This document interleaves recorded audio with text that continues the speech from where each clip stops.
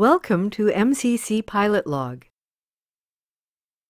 In this video tutorial, we will explain to you how to mass edit your records in the database. Multi-select is available from the flight page and also from the tables page. We will first show you how to mass edit your flights. You can mass edit flights from the Flights page or the Query page. Click on the first record. Next, hold the Shift key on your keyboard and click on the last record.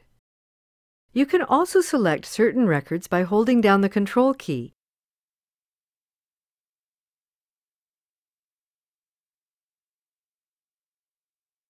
While doing so, you will notice that a new window is opening here at the bottom. You can now select the action you want to run on these records. For instance, you can change the time or transfer the time from the pilot in command to Copilot. Execute.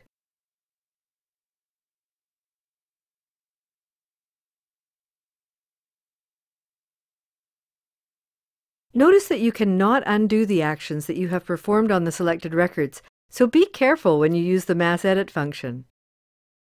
Mass editing is also available on the Tables page, where you can multi-select and edit aircraft, pilots, and airfields. To mass edit aircraft, you click on the first record, hold the Shift key, and click on the last record. If you're using a Mac, you will use the Command key or the Windows logo key in case you're using the Mac in combination with a Windows keyboard.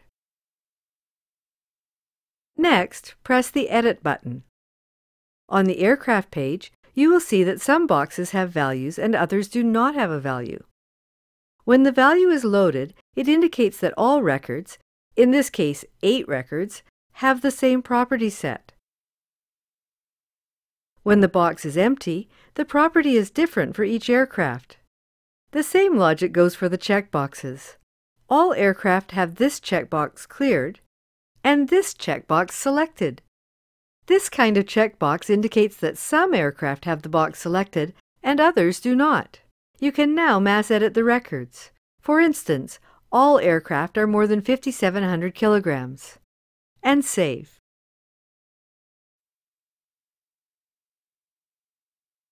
Multi-select is also available for pilots. This screen is showing different actions. For instance, change all pilot names to title case.